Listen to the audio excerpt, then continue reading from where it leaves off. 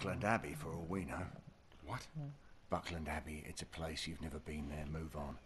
Well, there's a chair there made from the wood of his ship. Maybe it's hidden in there. I suppose it could be, but... No.